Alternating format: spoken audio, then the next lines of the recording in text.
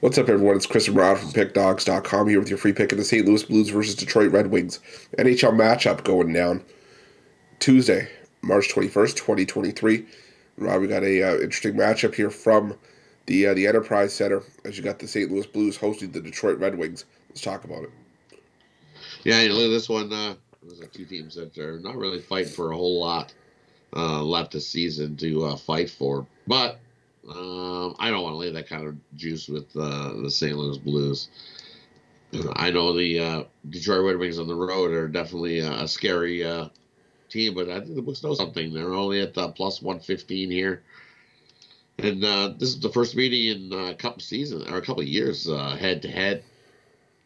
But you look, Detroit, they've played well all season against the teams with losing records. Um, five and one in their last six. I think Detroit snags a win here. I'm going to go with uh, the Red Wings here uh, on Tuesday night. Yeah, normally I would fall into the same boat and just in, a battle between two struggling teams, take the team that's given us plus money. But I'm going to stick with the St. Louis Blues here. Um, you know, Jordan Binnington eligible to return from suspension.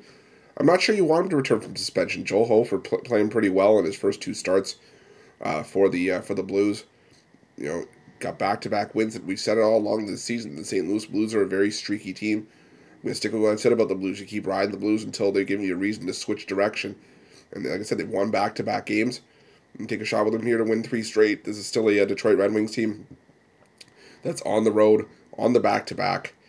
Yeah, I'm going to take a shot with the St. Louis Blues in this one, but not a game I'm rushing to the window to bet. But there you have it. That was your free pick in the Blues versus Red Wings NHL matchup on Tuesday. But just a reminder, if you haven't already, make sure you're subscribed to our channel. Smash the like button. Hit that thumbs up. It doesn't cost you a cent. Helps us out a ton. And if you're looking for best bets from Rod, myself, or our Puck Dawgz package, including my daily $15 best bet, our daily $15 best bet, or our Puck Dawgz daily $15 best bet, check out Pick Dawgz Premium. Thanks for watching. We'll see you guys soon.